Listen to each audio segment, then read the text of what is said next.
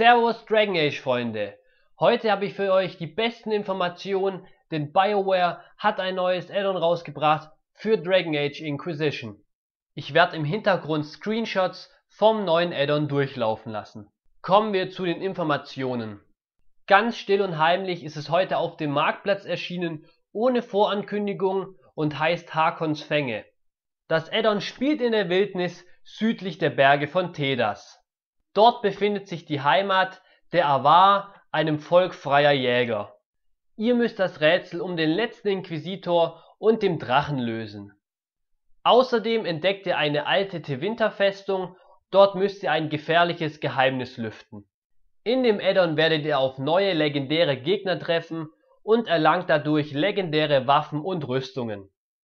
Und wie es immer so ist, müsst ihr euch am Schluss einem mächtigen Kriegsgott stellen, der die Welt vernichten will. Das war's mit dem Video. Ich vermute, es war die beste News für euch in dieser Woche. Jeder hat ja auf den Dragon Age Inquisition Addon gewartet. Ab sofort könnt ihr es im Store runterladen. Der Preis beträgt 14,99 Euro. Ich hoffe, das Video hat euch gefallen. Ich werde euch auf dem Laufenden halten. Wenn ihr noch Fragen habt, schreibt sie in die Kommentare. Ich bin weg. Ciao, haut rein.